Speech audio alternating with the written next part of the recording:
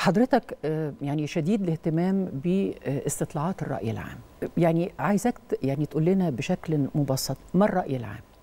الرأي العام تعريفاته كل يعني هو مزيج من أشياء أم أنه آه، فقط رأي الناس رأي الحكومات أم رأي ال- آه، الرأي العام عندنا مثلا لو افترضنا عندنا 300 كتاب في الرأي العام وده طبعا عدد مجازي.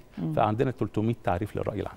بمعنى أن كل باحث يعرف الرأي العام عن طريقه. الرأي العام أيضا مجال بحث في العلوم السياسية وفي الاجتماع وفي علم النفس وفي الإعلام وفي غير ذلك.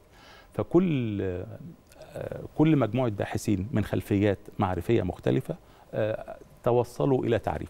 لكن بصفة عامة آه، بدون التقيد بتعريف معين الرأي العام هو ما يعتقد أنه مم. تعبير مجموعة من الناس عن قضية عن فكرة عن اتجاه عن معتقدات بشأن قضية معينة في وقت معين وفي زمان معين.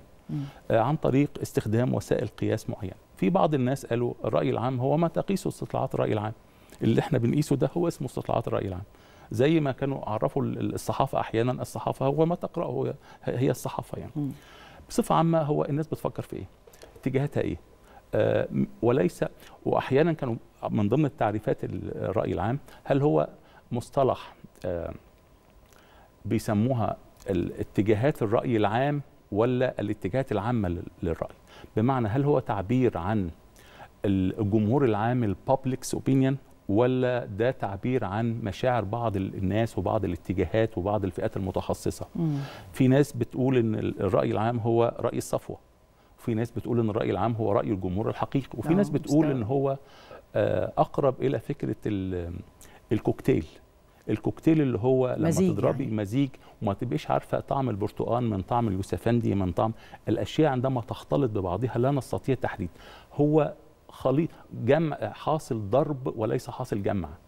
حاصل ضرب عناصر كتيرة مع- مختلفة. يعني رأي الصفوة مع رأي رجال الدين مع رأي الجمهور العام مع رأي وسائل الإعلام مع رأي طيب كيف نكون ثقة ما في آه، نتائج هذا الاستطلاع؟ كيف؟ يعني نقول ده استطلاع الرأي العام.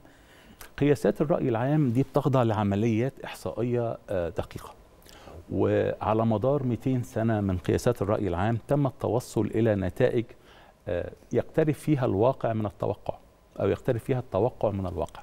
بمعنى إن إحنا مثلا في استطلاعات الرأي العام الأمريكية الخاصة بانتخابات الرئاسة وصل درجة التوقع أو درجه مع اختلاف في بعض مثلا سنة 2016 حصل كذا سنة 34 حصل كذا أحيانا بتحدث أخطاء. لكن درجة الفرق ما بين التوقع والواقع وصلت إلى نص في المية. وبالتالي هناك بالتجربة والخطأ وبالأساليب العلمية تم الوصول إلى مقاييس يمكن الاعتماد عليها. لكن ده في المجتمعات.